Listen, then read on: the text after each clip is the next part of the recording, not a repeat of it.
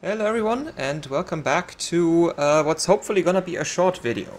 So this is uh, an add-on to my how to get more performance out of your XMP profile uh, video because now I've spent some time, um, actually I've spent like three and a half hours on this uh, because I kept running the full stress test after every timing adjustment. Um, but anyway, so I've now uh, done some manual overclocking on uh, the same uh, memory kit that I tested beforehand. Uh, I still have, well, I have a different graphics card now, as you can see, but that doesn't affect the test. Uh, CPU is also still stock, uh, like 8700K stock speed. Um, the only variable, again, is RAM. And what you can see right here are the timings I ended up with and uh, yeah, the completed TestMem5 stress test. Uh, this is just the one 1usmus V3 profile. It's pretty quick, as you can see. It only takes 13 minutes. Um, though it takes like a bit longer if you have slower memory. Like it, the speed of your memory shortens the test because it's faster. Um, so most people would probably prefer to like run the like extreme profile on this, which takes like several hours to complete. Um, which honestly, I don't really feel like investing that time I stress tested my daily overclock in my daily system with this exact profile and I've never had a blue screen ever, like not even a crash. Um, and I have been running that th those settings for like well over a year now. So for my purposes, like I, if if this, if my settings pass this test, I would be willing to daily that. Um, yeah, and like you, you can just manually modify the profile to make like 10 cycles instead of 3 or something. Then it's still gonna, like, it's gonna be like an hour long. Um, but yeah, I, like, if you wanna run the extreme profile, fine, do it. I, I think it takes too long and I don't like it because of that. But anyway, um, so, let's talk a bit about uh, our timings here. So this is now a sort of uh, manual overclock. So, um, we are still at 4400. I tried a bit to like bump it up in frequency, but at 4500 I couldn't hold the TRCD I have now. Um, so I chose to, to leave it at 4400, um, which is still like very decent frequency. Um, and my primaries are 18, 16, 16, 29. So before it was 19, 19, 19, 39.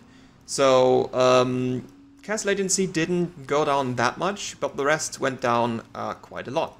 Um, and uh, if this wasn't a Z270 motherboard, I think my CAS latency would also be at 16. Uh, it's, it's, a thing I've talked about before. Um, this motherboard is on the older side, which means it's optimized for the A0 PCB. My RAM is on the newer side, which means it is based on the A2 PCB and that causes some incompatibility that can lead to all kinds of things like you just lose a bunch of frequency or the memory training is really weird or sometimes you have some memory timings that don't go as low as they probably should be in which case uh, yeah. That's what I got my my CAS latency like this is B-die it should do the same CAS latency as TRCD usually like in most cases like B-die is kind of known for doing like flat primaries um, in this case, like it doesn't even post at uh, CL17. Like that's how hard it was. Uh, I've tried RTTs, I've tried eating voltage. Uh, it does not post at CL17. As, at least I can't get it to post. Um, I'm sure there's some way, but I'm not good enough at uh, memory overclocking to do that. Now TRCD and TRP uh, went from 19 to 16 that's actually pretty good. I think that's like, so if you use the um, very rough napkin math of just taking your frequency and dividing it by your TRCD, I think you get a value of 275 here. Um, that's quite a lot faster than my daily. I think my daily is at like 257. So that's some really, really tight TRCD right there for that frequency. Same for TRP. I think my TRAS is also quite a lot uh, tighter than my daily. My daily is 3600 and I have a TRAS of 26. Um, and uh, yeah, also the like these are all maxed. I cannot set these any lower. It will error actually quite quickly. Um, command rate still 2T. I've tried 1T. It does not post. Um, again, there's probably some magic you can do, but uh, I'm just not good enough. Uh, TWR, I just shamelessly uh, copied from uh, one of Buildzoid's videos. TRFC is actually a bit higher now, so I've had it at 300 before. Um, which, like, you know, it, it, gets through time spy and probably fine, but like after, like in the test, after a few minutes, I will get like one or two errors at 300. So I set it to 325 and now that uh, goes without any errors. Um, it could possibly do like uh, 315 or even 310. That's like the one place where I think I could still go a bit uh, further, but like TRFC is a three digit timing. It really shouldn't make that big of a difference. Um, TRDL actually went down to 4. I've had it at 6 before. So, um, yeah, uh, I, I, guess the reason why all my test bench setups did uh, 16.4.6 for T4 and RRDs was actually my RAM, uh, my CJR. Um, because this beta kit runs 16.4.4 just fine, just like the beta kit in my daily, which also runs 16.4.4 just fine. So I guess if you have B-die, you can pretty much always run 16.4.4, even on a motherboard that's not even optimized for the PCB that your RAM uses. Um, WTR, also just shamelessly copied from uh, from a Buildzoid video. Those can, like those can probably go a bit lower. I just copied these because I had them on auto before and I have no idea what kind of things I should set these to. Same for RTP, and uh, I think CWL and RTP are actually still on auto. I don't know about RTP, but C CWL probably is still on auto. And then I also maxed out T, T uh, REFI. So TREFI is a bit of a special timing because uh, better performance is when this is higher, not lower. And uh, 60, uh, 65535 uh, on some boards 65534 is just the highest you can set this to. Uh, you can only set this on Intel. AMD does not have this adjustable. Um, but yeah, like this is like the time you can have before refreshing and like the less you refresh, the more time you have to do other things. So setting this to the maximum, usually best performance. Uh, you can't always set this to maximum. On my CJR and on this beta kit, it is stable at the maximum, but um, yeah, it, it, it really depends. Um, yeah. But anyway, so let's run TimeSpy again and see about our performance. Um, I've actually haven't tested this yet. Um, so I will be, uh, I'm hoping to see a big difference. I, I, did actually already see kind of an indicator, because like, how I talked about how the uh, test takes less time to run if your memory is faster, and it, it was like, I think it was like 15 minutes. Oh, come on, really? Oh, no. Oh no. uh, yeah, so that, that, that's a problem. Um, I'll make a cut real quick and put the 1070 back in because apparently we actually need that one. Okay, 1070 is back into in the system. I forgot TimeSpy needs a certain DirectX level. Like, even though we're just running the CPU test, you still need, like, a graphics card that can support the GPU test, too. Which is kind of stupid, but th that's what you get for running a, a mainly graphics-based benchmark to test your CPU. Um, though we did see that it like scales pretty nicely with the memory. Anyway, um, I went through the BIOS real quick so you can uh, see... I mean, I've already showed you the timings. Here's a quick rundown. Just pause the video if you want to uh, copy that. Also, I noticed, like, some of these don't actually apply the way I set them. Um, but yeah. And uh, for voltages, so 1.55, that, that's upped from 1.45 for the XMP. I don't know if it actually needs that high, it might be fine on 1.5, but like it's B-die, it has a fan blowing over it, 1.55 will be just fine. And then I actually lowered my I.O. and SA. The XMP profile sets both of these to about 1.38. Um, I set them down to 1.3. Um, it, the board does overvolt this uh, quite a bit. If it's under load, it still goes to like 1.35 uh, under load. Um, and yeah, ba basic, like as far as I know, you can just yeet SA as far like basically up to 1.65. But I.O. you wanna keep under 1.4 and like 1.35 for daily, which is basically why I set this because like then under, like with 1.3 set in BIOS, under load it will put out 1.35, and then for SA just yeah I just kind of put the same because like yeah you can set this really high, but um the only reason to set SA really high that I know of is if you do like either really high frequency or like extremely tight timings under LN2. So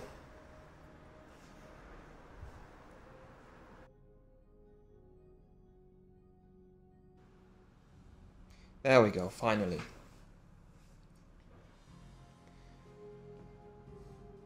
Hopefully performance is right now. Oh yeah, oh we're hitting 80 FPS for a bit. Oh yeah, this is so much faster. Yeah, this is so much faster. We're staying at 30 in the end. We were at like 27 before. Yeah, this is so much faster. Come, give, give, give me a good score. Give me a good score. Yes, 9,000! Oh, that's actually so much higher. That's... Wow, that's over 600 points. Just like that. Is that a bigger difference than... It almost is. It's almost as big of a difference as it is from stock to XMP. Wow. That's cool. So,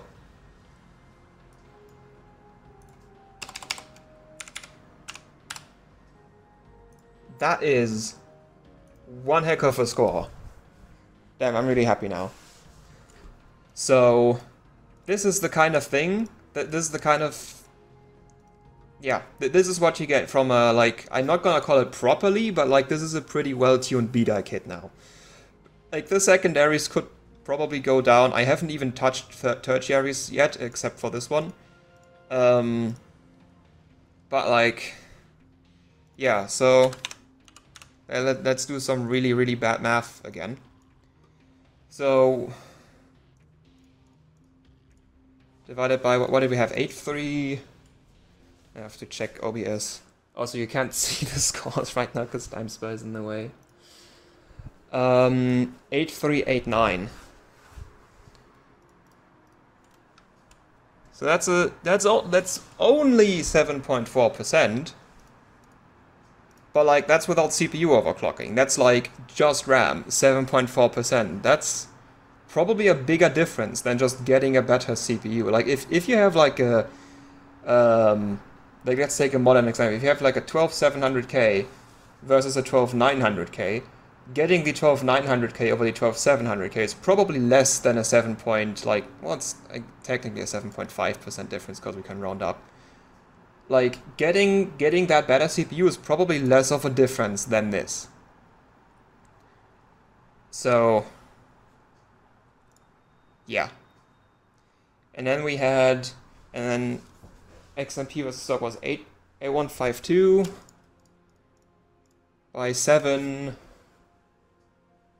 7494? Yeah.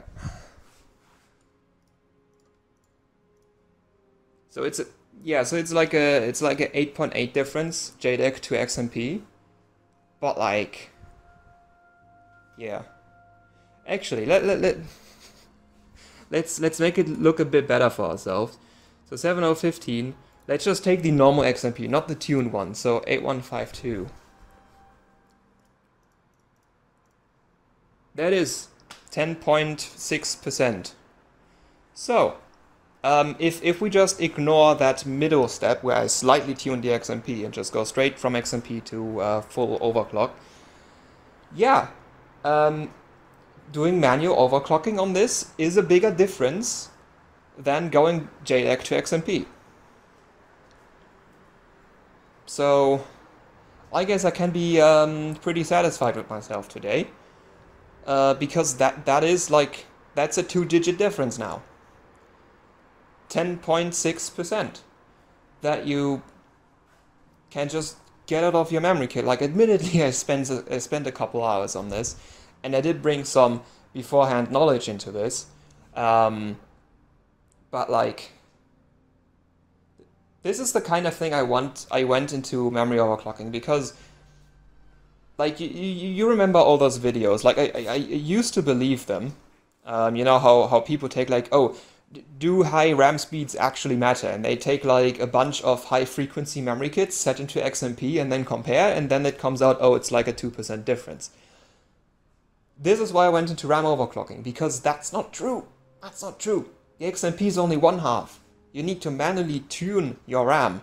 That's why B-die kits are like so good and also so expensive because they have that manual tuning potential. Like, like every RAM kit has manual tuning potential.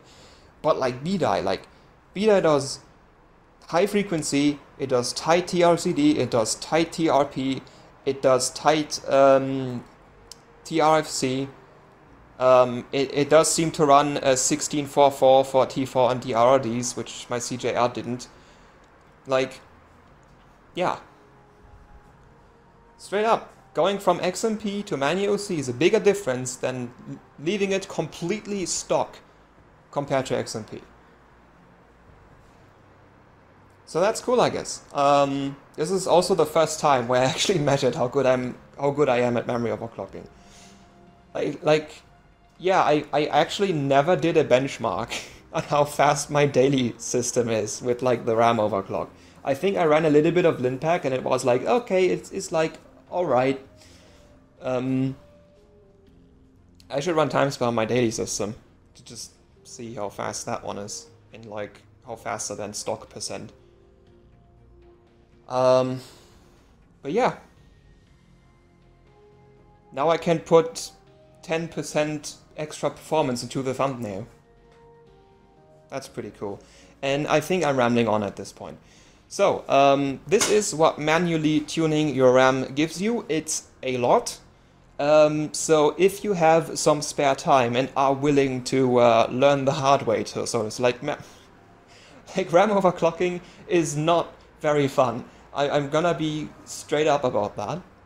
Uh, memory overclocking takes a lot of time. You will have situations where you're like 10 seconds away from finishing a test and then you get an error and you might not even know what that error is from. Like you could do it the way I did, just like literally every single time you change one single timing, run the full test, which is extremely time intensive, and only took like like again like three and a half hours for me because I kind of already know what B-die is supposed to look like. Um, but yeah, like uh, there is a lot of extra performance to be had in RAM overclocking, and this video proves it. Um, so that's cool, I guess. So, yeah, uh, thank you all for watching. Hope you learned something. Hope you enjoyed. And until next time, goodbye.